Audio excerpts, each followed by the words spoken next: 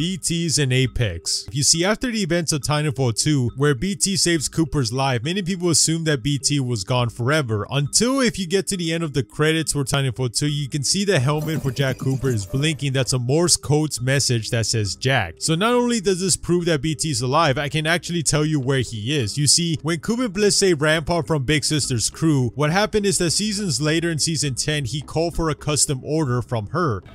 I'm calling about the custom you owe me.